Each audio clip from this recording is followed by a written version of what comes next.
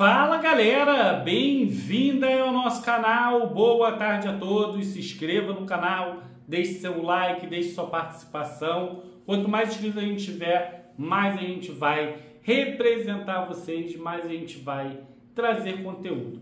Vamos falar sobre Voivoda, né, que falou aí ao final do jogo sobre o Botafogo ontem e disse que no segundo tempo o nível do Botafogo subiu e aí não conseguiu é, o Fortaleza fazer uma boa partida.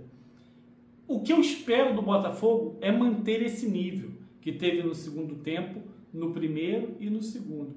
Pode até perder, mas tem que manter um bom desempenho nesses dois, nesses dois é, etapas de jogo. Né? Não adianta você jogar extremamente mal no primeiro e ir para o segundo jogar extremamente bem. Não dá, não dá, porque às vezes você pode ter tomado até 2 a 0. Antes do gol do Botafogo, o, o Fortaleza fez 1 a 0 e aí o Alexander Barbosa salvou um gol em cima da linha que poderia ser 2 a 0 e aí não ter como reverter. Então não dá para você ter dois tempos distintos. Claro, Oscar Romero estreando como titular, é, jogadores que não vinham sendo utilizados é, sendo titular nesse jogo contra o Fortaleza, tá? O Jefinho tendo uma oportunidade de mais uma oportunidade de demonstrar seu futebol, Luiz Henrique jogando uma função que não é a dele, Tietchan entrando, né, tendo mais minutos, mas não dá para ter dois tempos assim tão distintos. Então o Voivoda falou, fez uma análise coerente do que realmente foi esse jogo.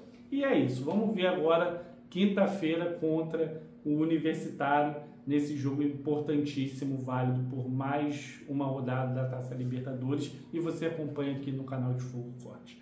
Valeu!